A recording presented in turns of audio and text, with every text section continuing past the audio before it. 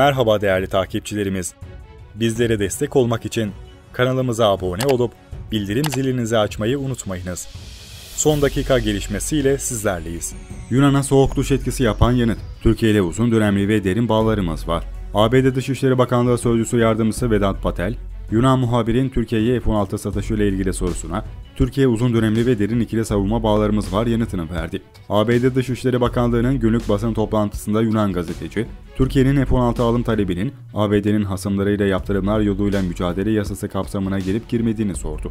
Patel, gazeteciye geçen haftada aynı soruyu sorduğunu ve kendisine yanıt verildiğini belirterek her askeri satışın ayrı ele alınıp değerlendirildiğini ve CIA-TSA yaptırımları konusunda spesifik bir değerlendirmesinin olmadığını söyledi. Öte yandan sözcü, ABD Başkanı Joe Biden'ın Haziran ayında Türkiye'ye F-16 satmak ve mevcut F-16 filolarını modernize etmek gerektiğini söylediğini hatırlatarak şöyle konuştu. Yine de genel olarak konuşacak olursak ABD, NATO müttefikleriyle ortaklarına büyük önem veriyor. Bizimle Türkiye arasında uzun dönemli ve derin ikili savunma bağları var ve Türkiye'nin NATO ile ortak çalışabilirliği bu yönetimin önemli önceliklerinden biridir. Kıymetli takipçilerimiz, bir haberimizin daha sonuna geldik.